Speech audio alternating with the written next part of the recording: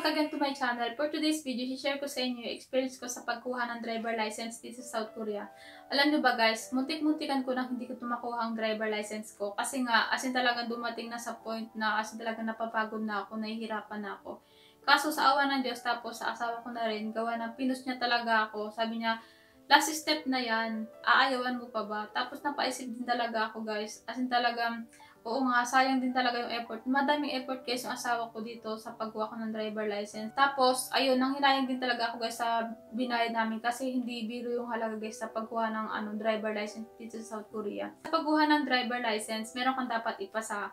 Una, yung Pilgi Shihom or yung written test. Tapos, yung Gining Shihom or yung functional test. Tapos, yung last, yung Durojuing Shihom or yung ano, yung road test na siya guys. So, ayun guys, yung istorya nito is ganito. Akala ko talaga guys, libre lang. Sa case ko, hindi agad-agad ako nag-direct sa ano sa Hagwon. Bali, one time nag-message sa akin yung sa Damonwa na kung gusto ko nga daw kumuha ng driver license. Kas kasali kasi ako sa GC nila guys. As in talaga nag-PM sa akin yung isang staff doon kung gusto nga daw kumuha ng driver license. E tas may nakalagay doon na ano, na muri or ano, free lang. So, napaisip ako, sabi ko, hala, since free lang naman, as in talagang i-grab ko na to kasi gusto ko din talaga magkaroon ng driver license. Pero ako guys, as in talagang ano ah, wala, wala akong idea sa pagdadrive. As in talagang never pa ako nakahawak ng manibela. Dito lang, dito lang talaga. Tapos pinakita ko sa asawa ko yung message ng Damon mo nga na ano nga, free nga daw yung pagkuha ng driver license. Tapos sabi ng asawa ko, oo nga, free nga daw. Tapos, ayun, alam din kasi guys ng asawa ko, kinukwento ko sa kanya na ayun nga, gusto ko nga magkaroon ng driver license. Tapos gusto ko din matutong mag-drive. So, ayun, tumawag agad-agad yung asawa ko sa Damon na para ipa-register ako. Since nakita niya din doon na may deadline lang. Tapos, ano siya, first come, first serve. So, nung naipa-register niya na ako, sinabi ng Damon mga kung kailan yung date na pwedeng kunin yung reviewer. Tapos kagandahan yun guys, may, may ano silang, may pa silang reviewer. Yung reviewer na yun, may 1,000 question. Tapos, sa baba, may, may sagot na siya. Tapos napaisip naman ako, hala, paano kaya kakabisaduhin niya? Ang dami guys, as in 1,000 question. Paano, paano ko isasaksak yung lahat sa ulo ko, ba? Yung 100 nga lang, ang dami, yung 1,000 pa kaya. Tapos sabi ng asawa ko, ang technique dyan, yung kabisaduhin mo, yung tanong lang, tapos yung sagot. Tapos sabi ko, oo nga, parang, parang gano'n nakadali, no?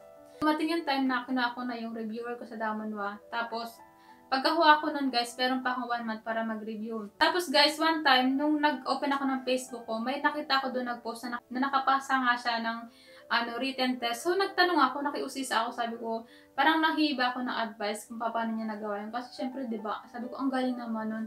Tapos ayun guys, sabi niya sa akin, mag-download daw ako ng apps na to. Ipapakita ko dyan guys sa screen. Ayan, nag-download nga ako guys ng apps na yon Tapos, Ayun, pag may mga hindi ako alam, mini-message ko siya para magpaturo. So, tinuruan niya naman ako. Ang bait-bait nga nun eh.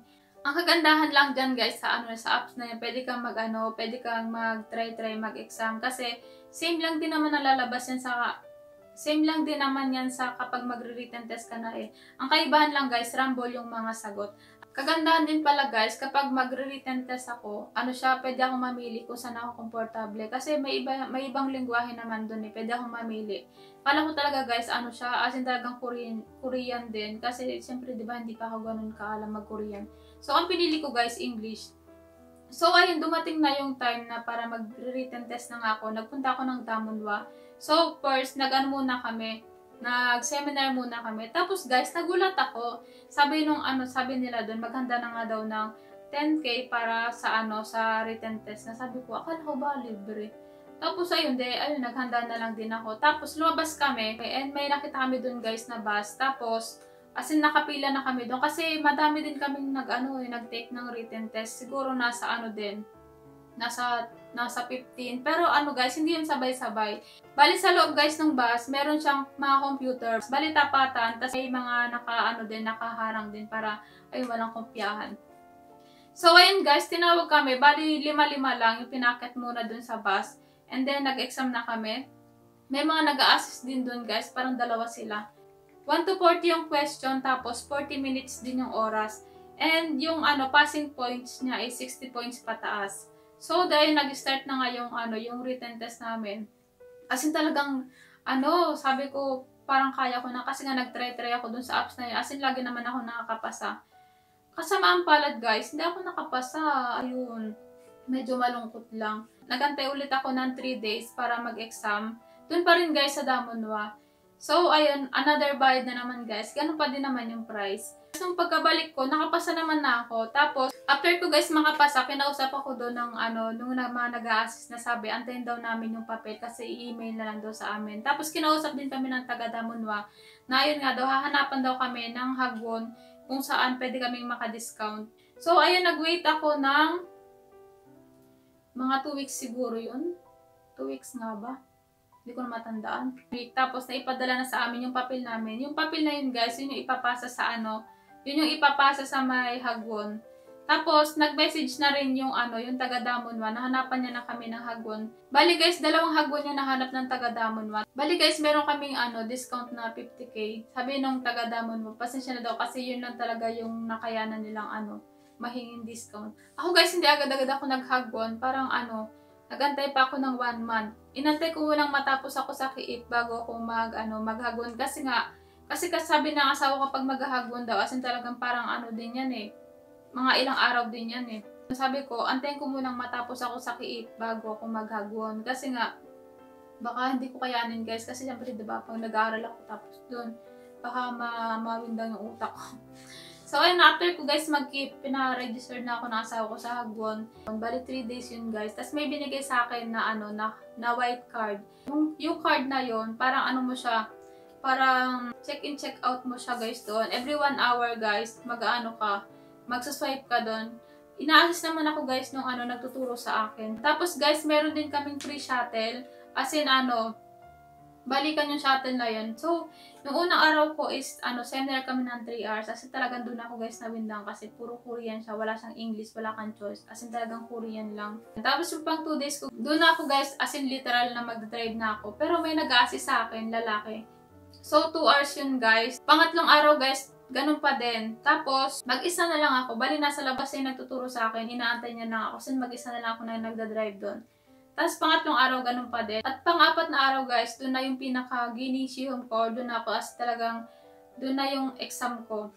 Eh, nakakakaba, guys, kasi alam ba, puro haksing yung kasama ko doon. As in talaga, ano, lahat sila nakapasa. Tapos ako yung last. As in talaga, kinakaban ako ng atog yung tuhod ko nung time na yun, guys. Nagtry nga ako mag-video nun, kaso wala, hindi ako na ako ng video. Namatay kasi yung cellphone ko.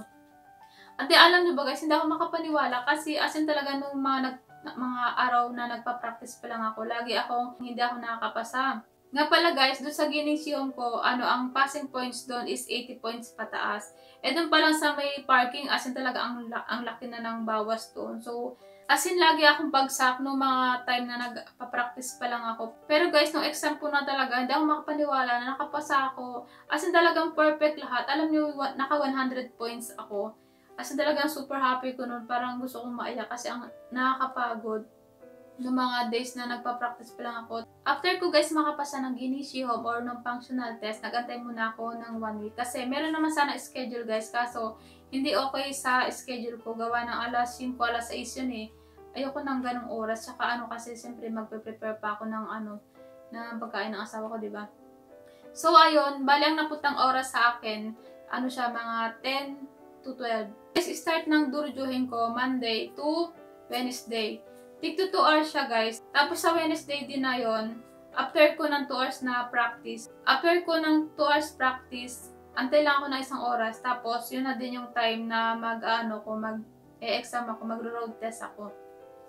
So, ayun, doon ako, doon ako nahirapan guys sa pag, ano ko, pag-take ko ng durjuhin. Kasi, asan talagang yun, isa, kalsada na sa as talaga may mga kasabayan ka ng sasakyan. Hindi katulad nung sa Hagon pa lang ako nagda-drive. As in talagang may sasakyan man, pero ano lang, isa, isa o dalawa lang gawa ng yung mga nagpa-practice din. Pero sa Durujuhin kasi, as in talagang sa kalsada na ako mag, ano, yung magda-drive. As in, ang daming mga sasakyan, diba? As in, alam mo yung ano talaga, nakikipagsabayan ka na din doon. Noong unang trainer ko, guys, babae siya. So, ayun, akala ko nga, guys, ano, sabi ko, wala, matapang ata. Pero hindi naman siya, guys. Alam yung, alam ko na nagkakamali ako, pero mahinahon pa rin siyang magturo sa akin. Tapos, doon ako na nawindang nung pangatlong araw ko, kung kailan din ako mag, ano, mag-exam. Biglang na iba yung trainer ko, naging lalaki siya, guys. Eh, ayun, magkaiba sila ng, ng way ng pagturo. Katulad dun sa babae na tuturo sa akin, kunyari yung pag-ikot ko ng Manibela, hindi niya naman ako sinisita. Means, parang okay lang siguro yun. Tapos yung lalaki na nagtuturo sa akin, as in talagang, may ano pala, iba din yung way niya ng pag-ikot ng Manibela. Eh, syempre, par parang ano, syempre, parang nakasanayan ko na yung sa babae nagtuturo sa akin yung ano, yun na yung parang nagamay ko ba. Tapos yung lalaki na yung nagtuturo sa akin, doon ako nahirapan kasi panibagong turo na naman. As in talagang nawinda ako ng sobra-sobra. Tapos guys, as in high blood siya, as in talagang hindi ko alam ha, pero sabi ng asawa ko, ganun daw talaga kasi nga syempre, di ba, kapag sa kalsada ka magdadrive, as in, ano, delikado. Pero sabi ko, bakit naman yung babae yung natuturo sa akin? As in, talaga mahinahon siya. Kaso, ayun yung lalaki, guys, as in, talagang high blood. Iba yung way ng pag-ikot ng Maribela. Eh, sabi ko, yun na yung nakasanayan ko yung babae. Yung, yung babae pa yung nagtuturo sa akin, kaso iba na naman. As in, talagang nalilito ako na parang ayoko na, ayoko na, parang gusto ko na sumuko. Tapos, ano, ang sakit na ng ulo ko, gawa ng, alam mo yung sensory, parang dinadaktakan kang ganun. Nakasigaw siya lagi sa akin. Ano ganun. Basta lagi siya nakasigaw guys. Tapos, sabi ko nga siguro kung asin talagang natataranta din ako nung time na hindi ko alam. Kasi syempre, di ba, nagdadrive ako tapos yung lalaki nakasigaw. Asin talaga, ang lakas ng, ang lakas ng boses niya guys. Tapos ganto, ganto, ganto, ganyan, sabi niya ayun, as tagang pagod na pagod ako nun. Yung araw na yun guys, yun din yung ano ko, yung pag-take ko ng exam. Kasama ang palad, ayun, bagsak ako guys. As in, hindi ko, ta, hindi ko napigilang umiyak nung time na yun kasi as in talagang parang pagod na pagod na yung katawan ko, yung utak ko. As in talagang, sabi ko, ayoko na talaga. Kasama palad pa guys, kapag bumagsak doon, another bayad na naman. As in, ang mahal guys, nung kapag magta-take ulit ng ano, ang mahal ng bayad. So, ayun, nagbayad ako noon. Tapos, pag uwi ko dito, as in, pagod na pagod ako. As in, talaga, ayun, maganga yung mata ko nung pag uwi ko dito. As in, talaga, hindi ko napigilan umiyak. Sabi ko sa asawa ko, guys, ayaw ko na, napapagod na ako kasi nga, ayun. Sabi ko guys sa asawa ko, ayaw ko na, napapagod na ako, ang sakit na ng utak, tapos ang mahal pa ng bayad. Tapos yung sabi ng asawa ko, dyan ka pa ba susuko, i-last mo na yun. Kasi sabi niya, kapag once daw na hindi ko pa, hindi ko pa pinursige ito, darating sa time na asin mag-uumpisa na naman ako sa pinakauna. Kaya yung naisip ko nga naman na asin talagang sa bagay, tapos hindi rin talaga guys biro yung binayad. After 3 days, nag-take ulit ako ng exam. Nagdurujuhing siya ulit ako road test. So ayun guys, natuwa naman ako kasi nakapasa na ako. Asin talaga, ang dami ko talagang ano doon, ang dami kong pagod. Gawa din siguro ng lingwahe. Tapos, ayun, ayoko kasi nang sinisigawan ako. Hindi ako sanay. Ayan guys, yan ang istorya ko sa pagkuha ng driver license. Sana ay nag-enjoy kayo. And ayun. Bali guys, yung asawa ko, bago din talaga ako maghagwon, tinuruan niya akong mag-drive. As in, nag-practice kami. Mga 2 days din kami nag-practice. Tapos, yung sa mga course na yan, as in talagang inaral din namin. Kasi talaga napaka, ano din, napaka supportive din ng asawa ko. So, salamat din talaga sa asawa ko. So, ayun, para sa mga kukuha ng driver license, fighting lang, as in talagang ma-achieve din yan. At saka, ayun, siguro sa case ko kasi gawa din talaga ng nahirapan talaga ng sobra kasi ang first time ko, as, as in wala pa talaga akong alam. Sa mga ayaw na maghagwon, tapos maalam na rin talaga mag-drive, tapos gusto kumuha ng driver license, meron din para dito sa Korea na as in talagang direct ka na mag-exam. And ayun na yun guys, yun na yung video ko for today. Sana ay nag-enjoy kayo sa aking kwento. And ayun, don't forget to share and subscribe my channel. See you on my next vlog.